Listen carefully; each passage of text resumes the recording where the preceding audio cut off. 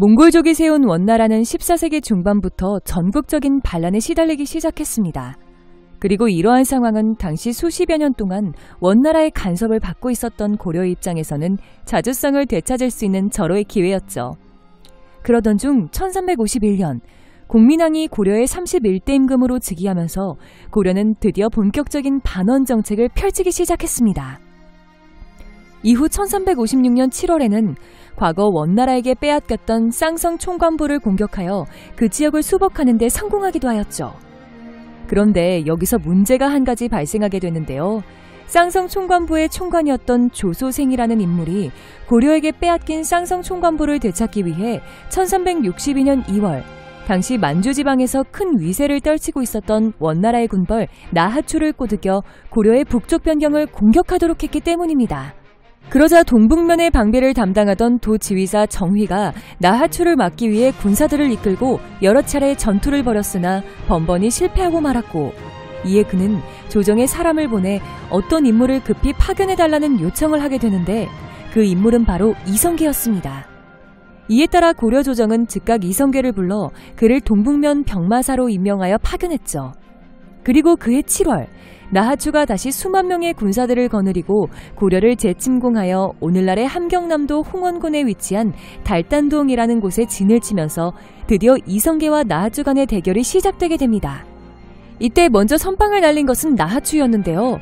나하추는 자신의 휘하 장수인 나연천 모가라는 인물에게 1천명의 군사를 맡겨 이성계의 고려군을 공격하도록 지시했습니다. 그런데 이들은 진격하던 도중에 갑자기 이성계가 이끄는 군대와 마주치게 되었고 즉각 전투를 벌였으나 결국 대패하고 말았습니다. 그리고 이성계는 도망치는 적들을 끝까지 쫓아가 거의 전멸 직전 상태까지 만들었죠. 이렇게 첫 전투는 이성계의 승리로 끝이 났고 그는 이 기세를 타고 계속 진격하기보단 답상곡이라는 곳으로 일단 물러나 진을 친 뒤 전열을 가다듬었습니다. 한편 자신이 보낸 선봉대의 패전 소식을 들은 나하주는 분노하여 전군을 오늘날의 함경남도 함흥시에 위치한 덕산동으로 옮겨 진을 쳤는데요. 그러자 이성계는 밤을 틈타 나하주군의 진영을 습격했고 갑작스러운 이성계군의 기습 공격에 크게 놀란 나하주는 빠르게 후퇴하여 이전 주둔지로 진영을 다시 옮길 수밖에 없었습니다. 이렇게 해서 두 번째 대결도 이성계의 승리로 끝이 났습니다. 이후 이성계는 척후병을 보내 나하추의 진영을 정탐하도록 명했는데 얼마 뒤 수많은 적군이 산에 올라 나무를 하고 있다는 보고가 들어왔습니다. 그러자 이성계는 병법에는 마땅히 먼저 약한 적을 공격해야 된다. 라고 말하며 즉각 출정하여 나무를 하고 있던 나하추의 군사들을 습격해 큰 피해를 입혔습니다. 그리고 적군이 도망치자 친히 날랜 기병 600명을 거느리고 이들을 뒤쫓아갔죠. 하지만 얼마 안가 나하추군이 거센 반격을 가해오자 별다른 소득 없이 퇴각할 수밖에 없었습니다.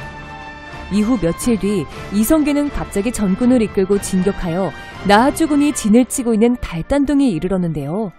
그러자 이를 본 나하추가 갑자기 10여 명의 기병들을 거느리고 진 앞으로 나왔습니다. 이에 이성계도 10여 명의 기병들을 거느리고 진 앞으로 나오면서 양측은 회담을 갖게 됩니다. 먼저 나하추가 이성계에게 이렇게 말했습니다. 내가 여기에 온 이유는 당초 사유, 관선생, 반성 등을 추격한 것일 따름이지 귀국의 영토를 침범하려는 의도가 아니었소. 이제 내가 누차의 패전을 통해 1만 명이 넘는 군조를 잃고 비장 몇 명마저 죽는 바람에 군세가 형편없이 위축되었으니 제발 전투를 그쳐주면 지시대로 하겠소이다. 여기서 말하는 사유, 관선생 등은 1361년에 벌어진 홍건적의 2차 고려 침공 때 홍건적들을 이끌었던 지휘관들인데 다시 말해 나하주는 자신은 원나라 사람으로서 반란군인 홍건적을 추격하던 중 의도치 않게 고려의 영토로 들어오게 된 것일 뿐이고 더군다나 그 과정에서 군사들을 크게 잃어 군세가 크게 위축되었으니 더 이상 싸우고 싶지 않다고 한 것입니다. 하지만 이성계는 그의 말을 믿지 않았습니다. 왜냐하면 나하추가 말로는 자신의 군세가 크게 위축되었다고 하지만 자신이 직접 보니 그의 군세는 매우 강성했기 때문입니다. 이에 이성계는 나하추에게 다짜고짜 항복을 요구했는데요. 하지만 나하추가 별다른 반응을 하지 않자 갑자기 그의 곁에 있던 장수에게 화살을 쐈습니다. 그리고 연이어 나하추의 말을 쏴서 죽였는데 이에 나하추가 말을 바꾸어 타자 또 화살을 쏘아 그 말을 죽여버렸습니다. 이로 인해 양측 간에 한바탕 큰 전투가 벌어지면서 회담장은 순식간에 난장판이 되어버리고 말았죠. 그러던 중 갑자기 나하추가 이성계를 향해 이 만호여 두 장수끼리 어찌 서로 핍박할 필요가 있습니까? 라고 외치고는 말을 타고 도망치기 시작했는데 이에 이성계는 다시 활을 쏴서 나하추가 타고 있던 말을 죽여버렸습니다. 하지만 그 순간 마침 나하추의 휘하 군사가 말에서 내려 자신의 말을 나하추에게 주자 나하추는 말을 바꿔 타고 간신히 도망칠 수 있었습니다. 그런데 이처럼 이성계가 적장인 나하추를 궁지에 몰아넣었음에도 불구하고 정작 전투는 나하추군에게 패배한 것으로 보입니다. 일단 실록에 따르면 이때 이성계군이 승리했다는 기록이 보이지 않으며 더군다나 다음 기록을 보면 이성계가 군사들을 지휘하여 물러가는데 자신이 직접 맨 뒤에 서서 적의 추격을 막았다고 나오기 때문입니다.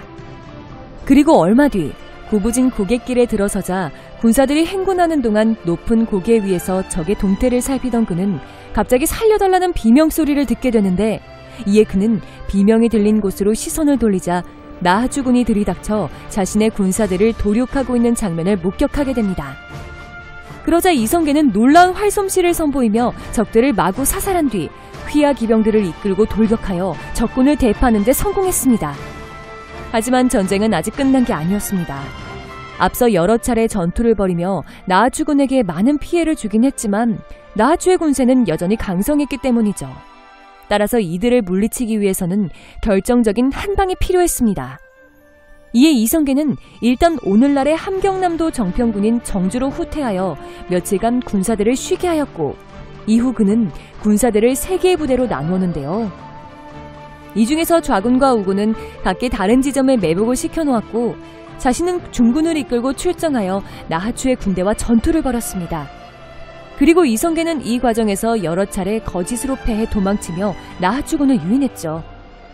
이후 나하추군이 목표 지점에 이르자 그 순간 갑자기 이성계 휘하의 중군을 포함하여 미리 매복해 있었던 좌우군이 세 방향에서 일제히 나하추군을 협공하였고 그 결과 나하추군을 대파하는 데 성공했습니다.